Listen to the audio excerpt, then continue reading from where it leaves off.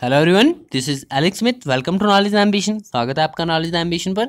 तो यहाँ पर हम कर रहे हैं एचआरटीसी कंडक्टर के रिगार्डिंग आपका जो ट्रैफ़िक रूल्स एंड रेगुलेशन का पोर्शन है, इसका हमारा ये पार्ट सिक्स है। इससे पहले की वीडियोस अगर आपने नहीं देखी है तो आप वीडियो सेक्शन में जाके उन्हें देख सकते हो। प्लेलिस्ट आपकी पूरी बनी हुई है। आप वहाँ पर सभी वीडियोज़ को एक साथ देख सकते हो। तो अगर आप चैनल पर पहली बार आए तो प्लीज़ चैनल को सब्सक्राइब भी ज़रूर कर लीजिए और नोटिफिकेशन बेल को ऑन कर लीजिए, ताकि आने वाले सभी रेगुलर अपडेट जो आप तक रेगुलरली पहुँचते रहे। तो चलिए शुरू करते हैं। और इस वीडियो का पीडीएफ आपको व्हाट्सएप ग्रुप या टेलीग्राम चैनल से मिल जाएगा। आपका डिस्क्रिप्शन बॉक्स में जो है सभी लिंक दे दिए गए आप वहाँ से ज्वाइन कर सकते हो। तो शुरू करते हैं। सबसे पहला क्वेश्चन यहाँ पर पूछा गया है। मौजूदा समय में भारत के सड़क व सड़क परिवहन व राजमार्ग मंत्री कौन है?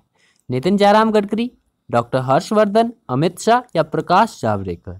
तो इस क्वेश्चन का राइट आंसर है। काफ़ी कॉमन क्वेश्चन है, आपको इसका आंसर पता होगा। तो इसका राइट आंसर आपका option number one Nitin Jairam Gadkari जो है प्रेजेंट टाइम के सड़क परिवहन एवं राजमार्ग मंत्री है। अब यहाँ पर कुछ क्वेश्चंस इस वीडियो में हमने इंक्लूड किए हैं। आपके परिवहन मंत्रालय से संबंधित एचआरटीसी से संबंधित व फ़र्स्ट एड से संबंधित। तो आपको वीडियो को एंड तक देखना है और ध्यान से देखना है, क्योंकि मोस्ट इंपॉर्टेंट क्वेश्चन है आपके एचआरटीसी कंडक्टर के एग्ज़ाम के लिए। नेक्स्ट हमारा क्वेश्चन नंबर टू पूछा गया कि मौजूदा समय में भारत के सड़क परिवहन व राजमार्ग राज्य मंत्री कौन है? अब आपको इस क्वेश्चन को ऊपर वाले क्वेश्चन से कंफ्यूज नहीं करना है, क्योंकि यहाँ पर सड़क परिवहन व राजमार्ग राज्य मंत्री के बारे में पूछा है। अब जो आपका सड़क परिवहन एवं राजमार्ग मंत्री है, वो आपके नितिन जयराम गडकरी है, लेकिन सड़क परिवहन एवं राजमार्ग राज्य मंत्री कौन है, आपको बताना है। अनुराग ठाकुर, डॉक्टर विजय कुमार सिंह, संतोष कुमार या किरण रिजिजू? तो इसका राइट आंसर बनता है आपका ऑप्शन नंबर बी, यानी डॉक्टर विजय कुमार सिंह जो है सड़क परिवहन एवं राजमार्ग राज्य मंत्री है। अब राज्य मंत्री और मंत्री में आपका डिफरेंस होता है। जो आपके स्टेट मिनिस्टर होते हैं, मंत्रालय में मंत्री के साथ साथ जो है आपके स्टेट मंत्री, आपके स्टेट मिनिस्टर्स भी होते हैं। जैसे कि अनुराग ठाकुर के बारे में आप जानते होंगे। अनुराग ठाकुर जो है प्रेजेंट टाइम पे आपके स्टेट फाइनेंस मिनिस्टर हैं। जैसे कि हमारी फाइनेंस मिनिस्टर हैं श्री निर्मला सीतारमण, उसी के साथ जो है आपके स्टेट फाइनेंस मिनिस्टर भी कार्य करते हैं, वो अनुराग ठाकुर जी हैं। इसी प्रकार सड़क परिवहन एवं राजमार्ग मंत्री जो है आपके नितिन जयराम गडकरी है और उन्हीं के साथ साथ सड़क परिवहन एवं राजमार्ग राज्य मंत्री जो है वो डॉक्टर विजय कुमार सिंह है। तो आपको ये याद रखना है। ऑप्शन नंबर बी इसका राइट आंसर है। नेक्स्ट आपका क्वेश्चन नंबर थ्री एच से रिलेटेड क्वेश्चन है, आपको ये ध्यान से पढ़ना है। अब यहाँ पर क्वेश्चंस को देख के आपको लगेगा कि क्वेश्चंस का जो है लेवल है हाई है। काफ़ी टफ है, लेकिन आपको ये ध्यान में रखना पड़ेगा कि इस बार का जो एच का एग्ज़ाम है, वो आपका पब्लिक सर्विस कमीशन ले रहा है। और पब्लिक सर्विस कमीशन जो है एक लेवल तक ही आपका क्वेश्चन सेट करेगा। तो हमें सभी चीज़ों को ध्यान में रखते हुए सब कुछ साथ में लेके चलना है। तो क्वेश्चन नंबर थ्री को आपको ध्यान से पढ़ना है। पूछा गया कि एचआरटीसी को सर्वश्रेष्ठ शहर की श्रेणी के तहत रोहतांग, दर्रे और मनाली के आसपास इलेक्ट्रिक बसों का संचालन परियोजना के लिए जो है सराहनीय पहल से किस वर्ष सम्मानित किया गया था? 2014 में 2016 में 2018 में या 2020 में? तो काफ़ी इंपॉर्टेंट क्वेश्चन हैं। आप एचआरटीसी की अगर ऑफिशियल वेबसाइट में जाओगे तो वहाँ पर आपको अवार्ड्स के सेक्शन में, जो आपके एचआरटीसी को अवार्ड्स दिए गए हैं, उस सेक्शन में जाओगे तो वहाँ पर आपको ये क्वेश्चन मिल जाएगा। वहाँ पर सारी डिटेल्स इसके रिगार्डिंग आपको मिल जाएगी। एच सी को सर्वश्रेष्ठ शहर की श्रेणी के तहत जो है, रहतांग दर्रे और मनाली के आसपास इलेक्ट्रिक बसों के संचालन, ये परियोजना थी सी की। और इस परियोजना के लिए सराहनीय पहल सराहनीय पहल से सम्मानित किया गया था गवर्नमेंट ने, गवर्नमेंट ऑफ़ इंडिया ने। तो आपको बताना है किस वर्ष किया गया था तो इसका राइट आंसर बनता है आपका ऑप्शन नंबर सी, यानी 2018 में। 2018 में ये सराहनीय पहल से सम्मानित किया गया था, जो आपकी रहतांग दर और मनाली के आसपास इलेक्ट्रिक बसों के संचालन के लिए परियोजना शुरू की थी एचआरटीसी ने। तो आपको ये याद रखना है। नेक्स्ट आपका क्वेश्चन नंबर अब यहाँ पर आपको और भी डिटेल याद रखनी है। ये अवार्ड ये जो आपका सम्मान दिया गया था एचआरटीसी को, ये दिया गया था ministry of housing and urban affairs government of India के द्वारा। 4 नवंबर 2018 को नागपुर में ये सम्मानित किया गया था HRTC को।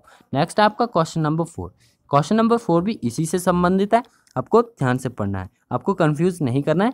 एचआरटीसी को मनाली से रहतांग, दर्रे और अन्य क्षेत्रों के लिए इलेक्ट्रिक बसों के संचालन के लिए Skoch order of merit award से कब सम्मानित किया गया था?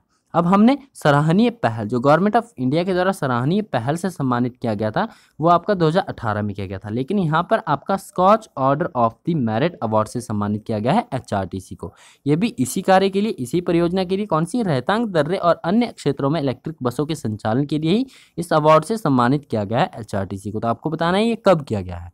22 जून 2016 को 22 जून 2017 को 22 जून 2015 को या 22 जून 2018 को?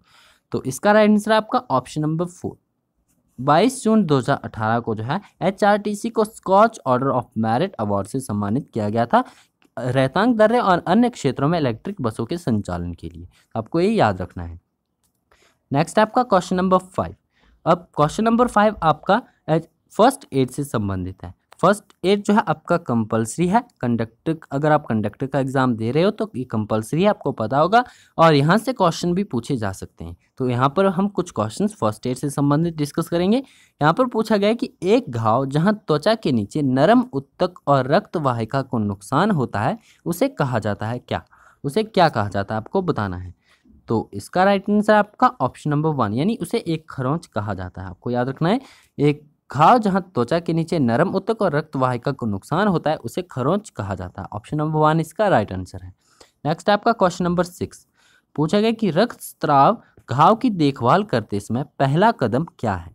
यानी आपका जब आपको कोई ब्लीडिंग इंजरी हो जाती है, कोई आपका रक्त स्त्राव घाव है तो उसकी देखभाल करते समय सबसे पहला कदम क्या होता है? एक ड्रेसिंग एक साफ़ ड्रेसिंग के साथ सीधे दबाव लागू करें दबाव बिंदु पर दबाव लागू करें, घाव बढ़ाना या इनमें से कोई नहीं।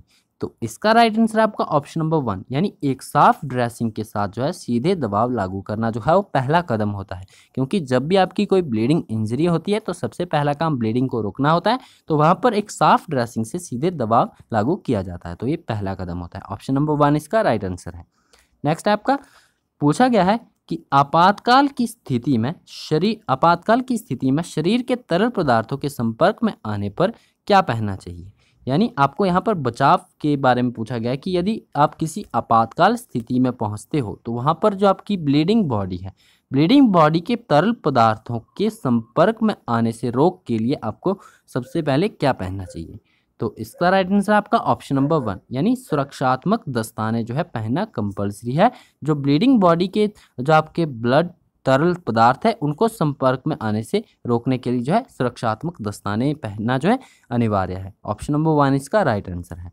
नेक्स्ट आपका क्वेश्चन नंबर एट पूछा गया कि एक गंभीर एलर्जी के साथ हर समय हताहत होने वाले व्यक्ति को अपने साथ हमेशा क्या रखना चाहिए? तो यदि कोई व्यक्ति गंभीर एलर्जी से ग्रसित है तो उसे अपने साथ हमेशा क्या रखना चाहिए? इंसुलिन पैरासीटामोल या फिर आपका एड्रेलाइन एपिपेन या फिर एस्प्रिन? तो आपका जो मेडिकल काउंसिल के द्वारा ये सजेस्ट किया गया है, आपका ये गाइडलाइन दी गई कि यदि कोई गंभीर एलर्जी के साथ हर समय हताहत होने वाला व्यक्ति है तो उसे अपने साथ हमेशा एड्रेलाइन एपिपेन रखना ज़रूरी है। उसे हमेशा अपने साथ एड्रेलाइन एपिपाइन रखनी चाहिए क्योंकि ये आपकी एलर्जी में काफ़ी वर्क करती है। तो आपकी वर्केबल होती है तो आपको याद रखना है ऑप्शन नंबर सी इसका राइट आंसर है। तो ये थे हमारे फ़र्स्ट एड से संबंधित कुछ इंपॉर्टेंट क्वेश्चन यहाँ पर आज की वीडियोस में इतना ही क्वेश्चन थे। आई होप आपके लिए बेनिफिशियल होंगे। आपको ध्यान से इन क्वेश्चन को पढ़ना है। पीडीएफ आपको व्हाट्सएप ग्रुप या टेलीग्राम चैनल में मिल जाएगा। आप डिस्क्रिप्शन बॉक्स में लिंक दिया गया। आप वहाँ से ज्वाइन कर सकते हो। तो आज के लिए इतना ही। मिलते हैं नेक्स्ट वीडियो में। नेक्स्ट वीडियो हम ऐसे ही कुछ और महत्वपूर्ण प्रश्नों के साथ जुड़ेंगे आपके साथ और जुड़े रहिए नॉलेज द एम्बिशन के साथ। चैनल को सब्सक्राइब नहीं किया तो चैनल को सब्सक्राइब कर लीजिए और नोटिफिकेशन बेल को ऑन कर लीजिए ताकि आने वाले सभी रेगुलर अपडेट्स आप तक रेगुलरली पहुँचते रहें। तो मिलते हैं नेक्स्ट वीडियो में। Thanks for watching best of luck for a bright future